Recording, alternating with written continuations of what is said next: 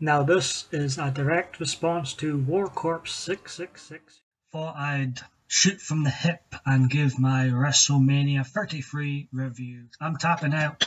That's me. I'm finished with the WWE product. So, the 2018 Royal Rumble pay-per-view event just took place and I thought I'd give a quick analysis of the event. I thought the championship matches were the highlights of the show. Loved when Brock Lesnar punched Braun for real after getting a real knee, knee to the face. That was that was good shit.